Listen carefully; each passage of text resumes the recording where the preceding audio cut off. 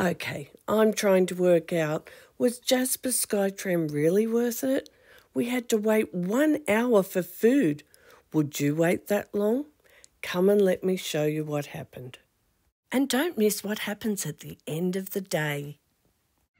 Hi, Michelle here from Travelling Over 60. Come join me on this adventure. Let's do a recap of Jasper. So we arrived, we did a town walk around, we came to our accommodation, we had a look at the outside of Jasper Park Lodge. After we did that, we went and had a walk around the inside of Jasper Park Lodge. I then took you across and we had a look at our room. Was it really glamping? Finally, we had our freedom of choice dinner in the Great Hall, then off to bed. The next morning, we were up and into town early and went and did some of our washing. Now for our next freedom of choice. Okay, call me crazy, call me old, or maybe I'm just really unfit, but some of these freedom of choice were a bit of a hazard to me a motorcycle ride, a hike, rafting on the Athabasca River. We did the Sky Tram. We checked out the temperature before we went up that mountain, and it was five degrees, so we went and dressed appropriately. We put on jeans, thick socks, our walking boots, a long sleeve t shirt, jumper, jacket, gloves, scarf, and our beanies. I think we're ready now, so let's go and have a look at Jasper Skytram. We were collected from our accommodation and taken to the Skytram on a shuttle bus. Now we went across and we had to line up and wait to get on. Everything there was flat ground, easy walking. This is what the little Skytram looks like. I'm starting to get nervous now. So I pulled into the station, and then it was just a flat step into an open carriage where you stand up. Now, some of you may know from previous videos, I'm not very good with heights, but if I'm in an enclosed carriage like this, I seem to cope better. As we headed up, I just tried to focus on the landscapes until we got to the top. Have a listen what our guide said. So you guys are heading up Whistler's Mountain, named after the marmots that live on here. They make a whistling sound. It's a bit like a big guinea pig. Um, they make whistling noises and they come out in the summertime. And then when you do reach the top, it's just over two and a half thousand meters of elevation. Um, so you'll feel your ears start to pop soon.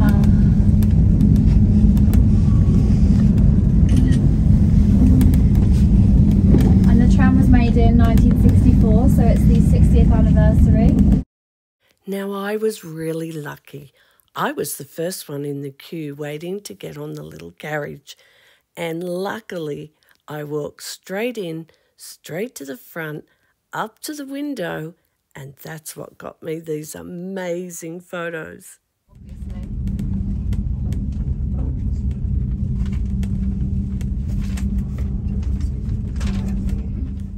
I hope you're liking all these photos. If you are, show me by giving me a thumbs up. I really appreciate it and it really does help me out. Tip uh, with yeah. snow covers over at that's Mount Robson. It's the oh, highest, ah, okay. highest in the Rockies, uh, around 4,000 meters. Another thing to note, you do have a staff member that comes all the way to the top with you, as you've probably heard, and she gives commentary all the way you guys, up. Uh, will be able to walk around the edge of the building. Oh, it's a long way up. The boardwalk to look at the view. are we there, are we? Oh. Are we Not there? quite. Yes, Ferris. Almost. Okay, we've made it to the top. A little bit of a ramp there, but otherwise it's very flat. You can get all the way around the main building. And just over here, this is the main building where you can go into the shop and up to the restaurant. But first off, we're going to walk around. And here we are at the top of the Skytram. Oh, it's very cold up here. It was lovely and warm down in Jasper, but it's cold up here at the top. Lots of snow.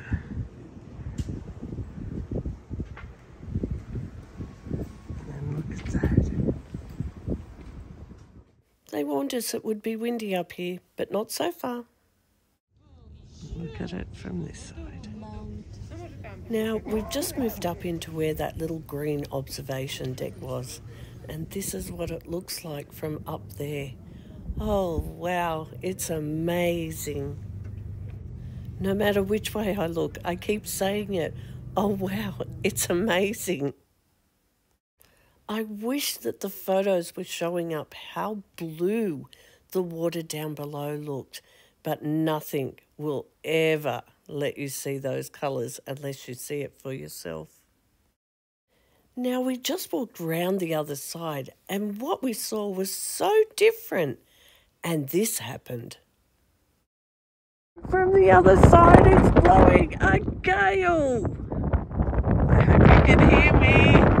Bring your beanies and your scarves.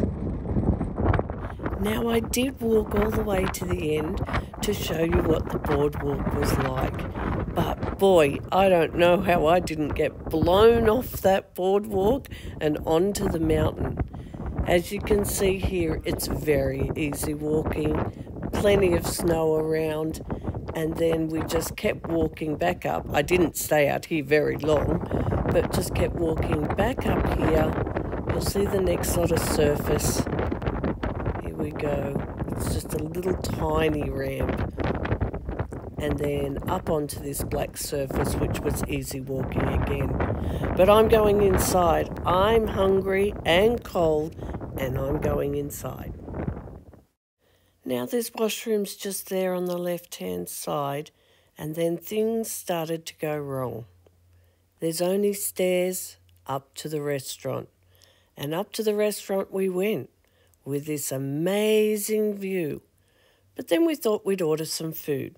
Now I'm just going to give you a bit of a look at the menu. You can pause this and have a look. This is the food they sold, so just basic food. I ordered a cheese sandwich and hubby ordered a burger. It took them one hour to get our food ready and bring to us. We were not very happy. When we tried to pay the bill, they told us we had to wait. We waited another 10 minutes. We tried to be really patient, but we had a shuttle to get back on. So we were rushing to get back on the tram down to the ground and on the shuttle that would take us back to our accommodation. Every time we asked the staff a question, they snapped back at us. They were very rude, and it was everybody none of us were being rude back to them, but they were very rude to us.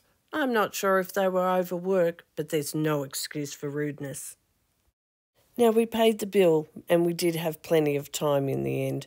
We rushed over, we got onto the tram, and then I started to get anxious going down.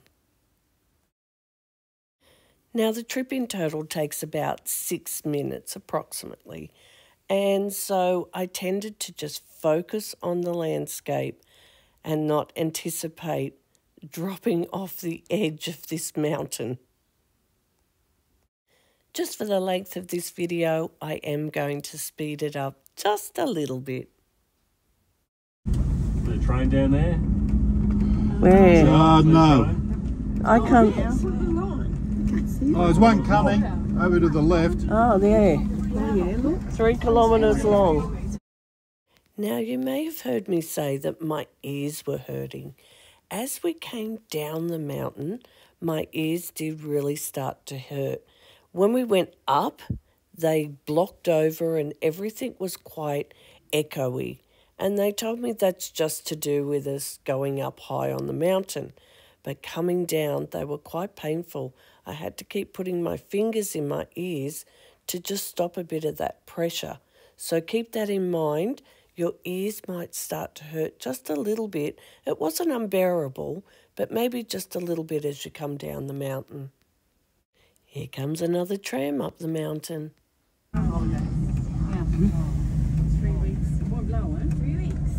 That looks fast. That one was moving quick, wasn't it? Going up. So there was another tram that came after this one. This looks like we're going to fall off the edge of the earth. I'm sure that's what Well, they it used to out think. it goes steep again. Oh, oh, this This does is a not. little steepy bit. Can you just hold the edge of my jacket, please? Oh, It's like the roller coaster. yeah.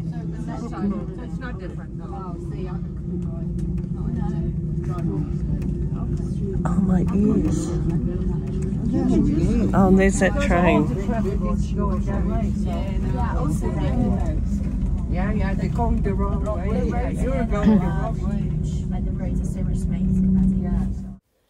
So we've travelled past the steepest part now, but I still wasn't comfortable until we started to get a little bit lower. And the lower we went, as the trees seemed to be a bit closer to me, I did start to feel a bit better. Now, just looking at us coming in here to the end, you can see some people walking there on the left hand side. That just gives you a bit of a look at what the ground was like. And as we come in here, it does get a little bit bumpy, but they did slow it right down, as you can see, just to come in and then it docks, I suppose it's called, and it will stop. And it's just a small step, the same as when we got on to get off. Okay, did we think the Skytram was worth it? Absolutely. A holiday is what you make of it. The views we saw were amazing. We loved every minute of it. Or maybe not the hour wait for lunch or the rudeness, but it was great anyway. Phew, our day is done. We headed back to our accommodation and we'd had enough. Lots of people caught the shuttle, went back into town to a restaurant.